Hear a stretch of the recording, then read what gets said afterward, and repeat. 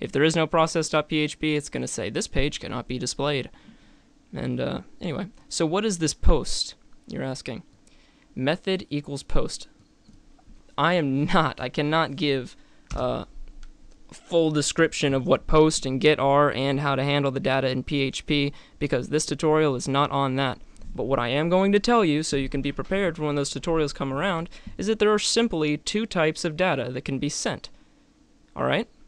There is post data, and there is get data. Technically, in PHP, don't let this scare you, we're going to be deleting this, is it looks like that. Dollar sign underscore post and dollar sign underscore get. Now, what is the post data as opposed to the get data? The post data sends directly, I'm sorry, the post data here sends directly to process.php. It's encrypted when it goes over. And the user has, I mean, no clue. I mean, you can't modify it. It doesn't get sent through the URL, anything. It's literally completely invisible and it goes from point A to point B. And at point B, it takes the data and it processes it. So post is definitely the most recommended, but sometimes you do need to use get.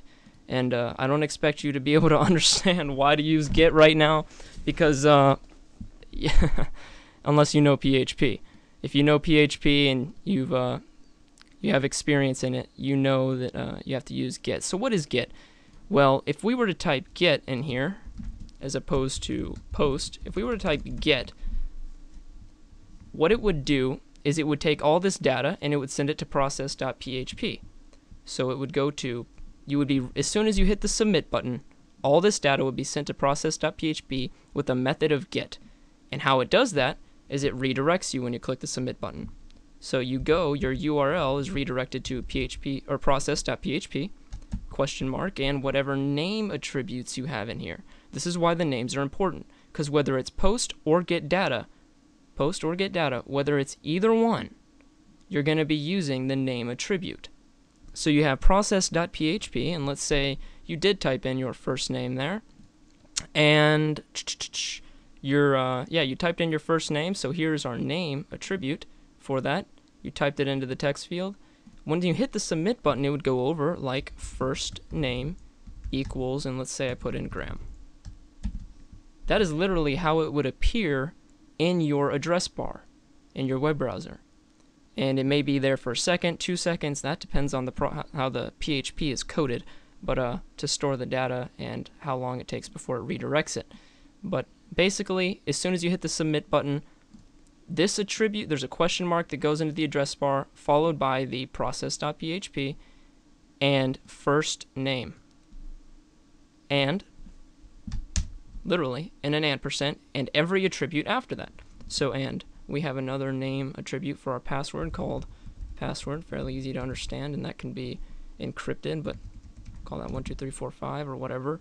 And, uh, basically you just put an ampersand after each and every attribute. So and uh, male equals true or selected because that was a radio button. It is, you don't technically put anything in there. And uh, we have a button attribute, but like I said, that isn't that doesn't store data which is sent. So don't really be worried about all that. That's all going to be covered in heavy detail when we get to the PHP tutorials, but oh, this is really 100% just a form tutorial. I wanted to introduce you how to make a form element, uh, declare where all the data would get sent, the method of which we, I, I did say, the method of which needs to be default post. So uh, you can go ahead and save this if you want. You can preview it, and it's all good fun. So I'm going to do that. You can do this in Notepad. You go to File, Save As, Desktop, and I'll call it index.html. And then I'm going to go up to the little browser here and preview in Firefox. And here it is. So we have our first name, password, male, female, whichever one you want to check, and uh, click me. And you can see that click me button still does not do anything. Yep. But uh, I hit submit data, and what did I say would happen since there's no process.php file? Oh, what do you know? File not found. But you see what would have happened. in my URL up here, it goes to process.php, and technically, if this was on a web server, all that data would be processed that we typed into this form. So, with that, guys, not only is this going to conclude the tutorial, this is actually going to conclude my series on HTML. Um, I really hope you guys enjoyed it. Uh, as I said in my first tutorial, it's all the basics of the basics.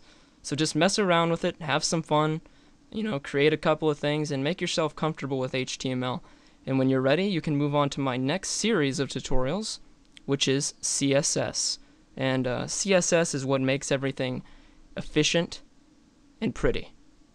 I mean, literally the most modern of websites. So if you want to be a really good web developer, stay tuned for all my CSS tutorials which are coming after this. After that, of course, I will go on to PHP, and uh, I don't know where I'm going to go after PHP, but that is way down the road. So, stay tuned, guys. Rate, comment, subscribe. My name is Graham with Tutorial Clarities. Take care.